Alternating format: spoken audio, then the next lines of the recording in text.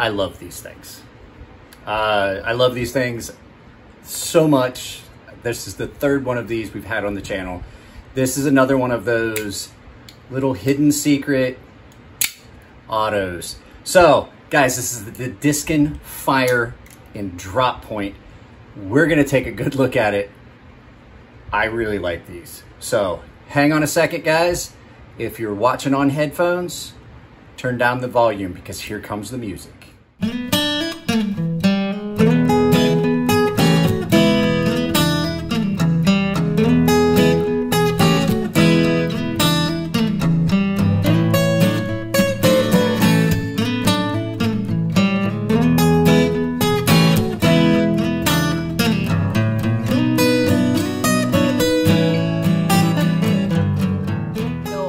the Touch Knives double action. I have, I still have another Diskin double action here at the house that belongs to Elijah Isham because Elijah, if you're watching, I need your address. You got to send it to me. I can't send your knife back to you if you don't send me your address.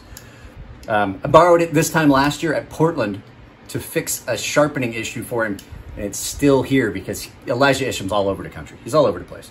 So this is the Matt Diskin Fire Drop Point in Elmax steel double action. It is incredibly smooth. Um, not to say anything against the Touch Knife Sparrowhawk. I think this is my favorite double action so far. Only, not so much that it's a better knife or anything like that. It's just a larger knife. I like the Sparrowhawk, but it's so tiny. Uh, this is this is just a full size knife. Really nice action. Easy to deploy either way the spring action on it's great and like even if you weren't going to use it as a double action as an auto it's still a great great knife. So let's get this flipped around take a good close look at it so that i can sharpen this and get it back to matt because this is his newest acquisition. He really likes this knife. And uh, i can't say as i blame him because it's great. So let's go ahead and get this turned around. All right guys we're in for a treat. This is not just a really cool knife it is a really well well-made, gorgeous knife. Checkered carbon fiber with the, I mean, you can see the diamonds on it. Really, really, well, I guess you can't see the diamonds. I can definitely see the diamonds on it, and I can feel them with this light. All you're seeing is the opalescence of the, yeah, there you go. You can see the diamond pattern, both sides. Pocket clip, pocket clip's a little tight. That's my only issue with that. Lightning strike carbon fiber, or thunderstorm carbon fiber. That's, what is this? This is the lightning strike. Carbon fiber, um, backspacer, and then just the overall blade. Attractive, attractive, attractive package here with this uh, clip point, I guess you would call it. I guess this is clip point, not drop point, I'm sorry. Uh, clip point blade. Really comfortable in hand, guys. Uh, you can see action on it super, super smooth, but then you get that little cool factor of being able to deploy it auto. I think right about here, I'm going to throw in a slow-mo clip.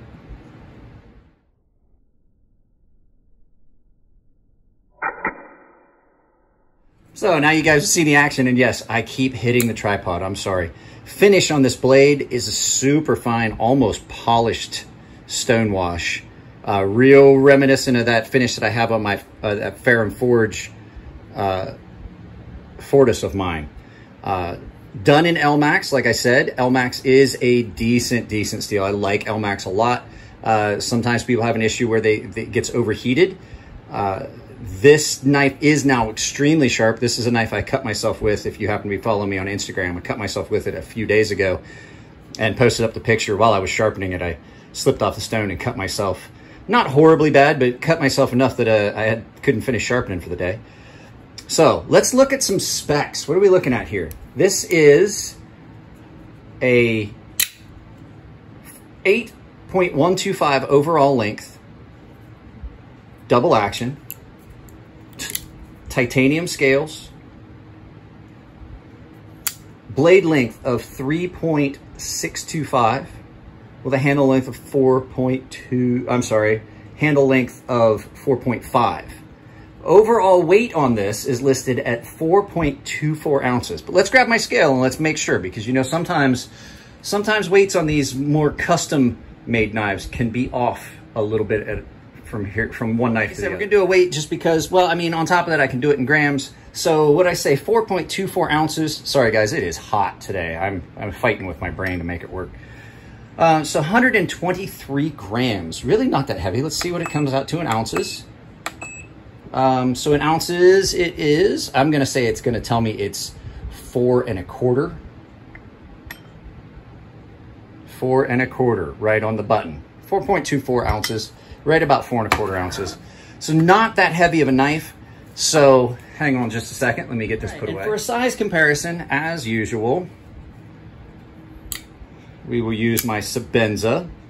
So yeah, really not that, it's comparable to uh, a uh, Sebenza, Chris Reeve Sebenza. So the only issue I really have with this knife, and I'm gonna show you right now, it's not anything major, really. Um,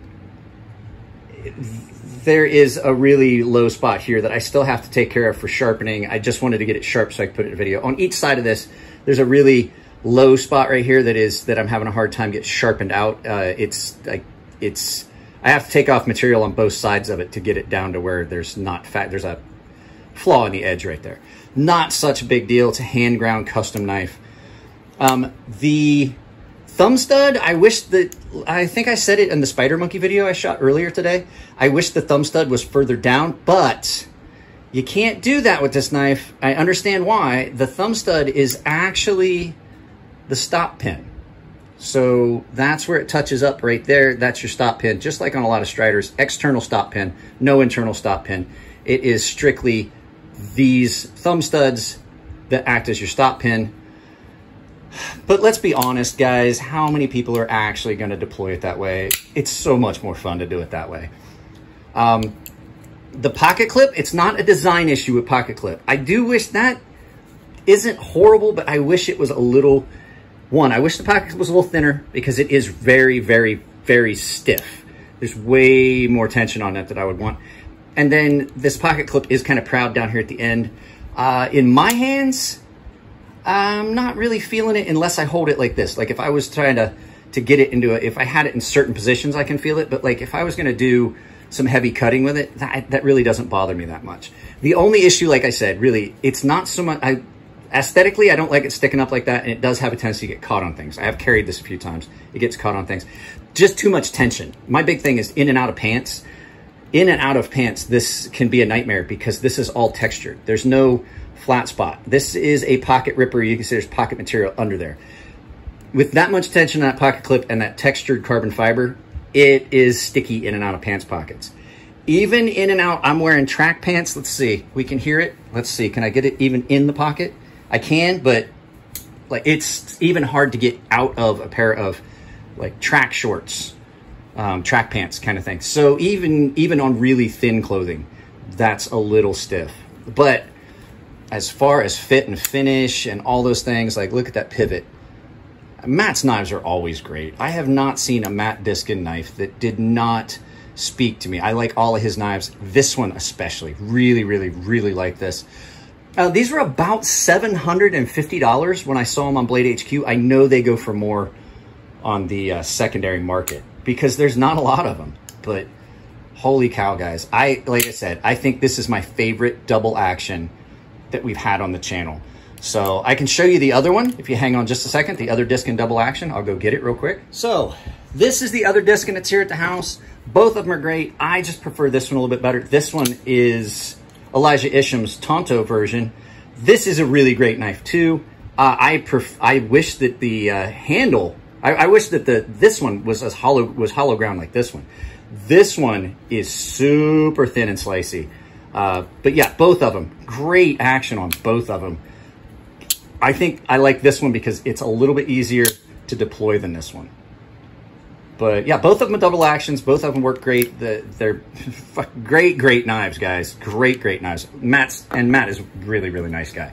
So let's get this turned around and do some final thoughts on it and we will uh, wrap the like video. Like I said earlier, this is Matt's newest acquisition. Uh, he was able to finally get a hold of one of these. He's been trying to get one for a while.